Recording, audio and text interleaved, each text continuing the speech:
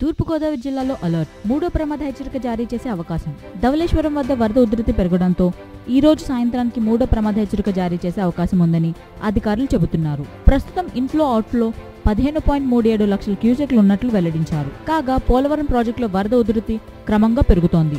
Spillway వద్ద గురువారం మూడు నాలుగు పాయింట్ రెండు సున్నా మీటర్ల నీటి మట్టం నమోదైంది. ఈ మేరకు నలభై ఎనిమిది గేట్లను ఎత్తి పద్నాలుగు పాయింట్ యాభై ఏడు లక్షల క్యూసెక్ల నీటిని దిగువకు వదులుతున్నారు.